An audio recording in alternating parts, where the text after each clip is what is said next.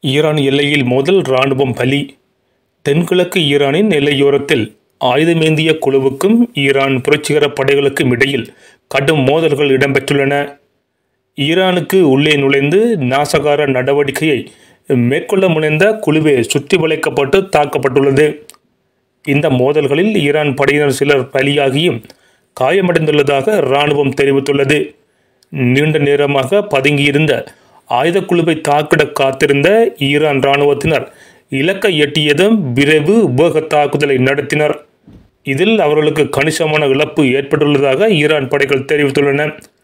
இருபத்தி நான்கு மணித்தியாலமாக தீவிர கண்காணிப்பு மற்றும் பாதுகாப்பு பலப்படுத்தப்பட்ட நிலையில் இந்த ஆழ ஊடுருவலை இஸ்ரேல் ஆதரவு ஆயுத குழுக்கள் மேற்கொண்டுள்ளதாக ஈரான் குற்றம் சுமத்துகிறது.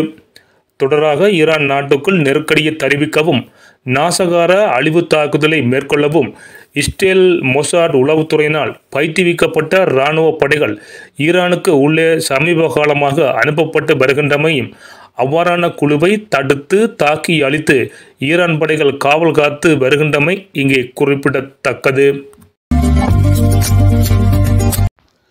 யுக்ரைன் குளம் உடைப்பு பதினேழு பேர் மரணம் முப்பத்தி நான்கு பேரை காணவில்லை. உக்ரைன் காவோக்கா நீர்மின் நிலைய குளத்தை உடைத்ததன் பின்னர் ஏற்பட்ட வெள்ளத்தில் பதினேழு பேர் பலியாகினர் மேலும் முப்பத்தி நான்கு பேர் காணாமல் போயினர். இவ்வாறு காணாமல் போனவர்கள் இறந்திருக்கலாம் என எதிர்பார்க்கப்படுகிறது. இந்த குளக்கட்டை ரஷ்யாவை உடைத்து மிக பெரும் நாசகார திட்டத்தை மேற்கொண்டது என உக்ரைன் யூத இனத்தின் வீரத் தலைவர் ஆளும் ஜனாதிபதி ஜெலன்சி அவர்கள் தெரிவித்துள்ளார். தொடர்ந்தும் உக்ரைன் கீவ் பக்மோட் உள்ளிட்ட பகுதிகளில் கடும் மோதல்கள் இடம்பெற்ற வண்ணம் உள்ளன. ஒரே நாளில் பதினாறு வானூர்திகள் பீரங்கிகள் என்பன அளிக்கப்பட்டுள்ளதாக யுக்ரைன் இராணுவம் அறிவித்துள்ளது.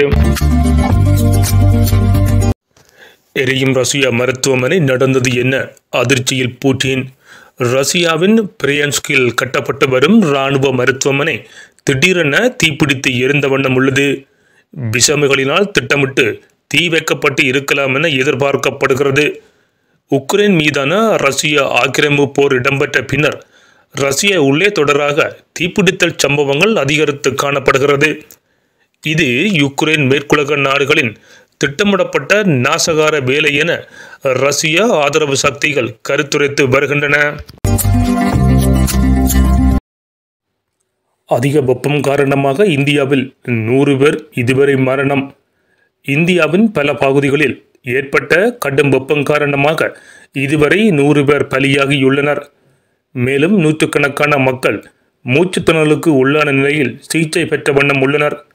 வளமைக்கு மாறாக அதிக வெப்பம் காணப்படுவதால் இந்த உயர்ப்புலிகள் இடம்பெற்றுள்ளதாக தெரிவிக்கப்பட்டுள்ளது. மேலும் பல கிராமப்புற பகுதிகளில் அதிக நீர் தட்டுப்பாடு ஏற்படுவதால் மக்கள் சொல்லனா துயரை சந்தித்த வண்ணம் உள்ளனர்.